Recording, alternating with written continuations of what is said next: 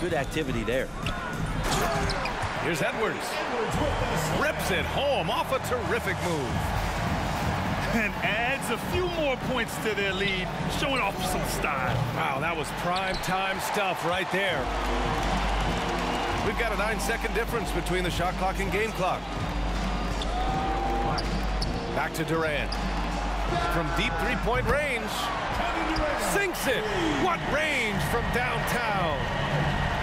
And they've settled in quickly today. A nice flowing rhythm to their offense. Pass to Gasol. Shoots over Davis. And Davis with the block. Just one of the greatest when it comes to blocking shots. AD using that